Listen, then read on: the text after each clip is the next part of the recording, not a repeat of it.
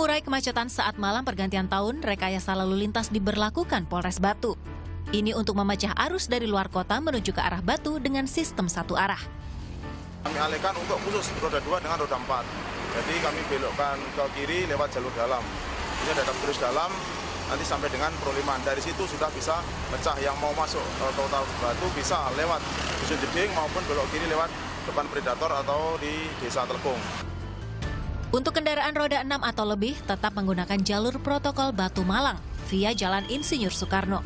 Sedangkan untuk kendaraan keluar dari Batu ke Surabaya dialihkan ke Simpang 4 Lipo Plaza melalui Desa Wukir hingga Jembatan Pendem.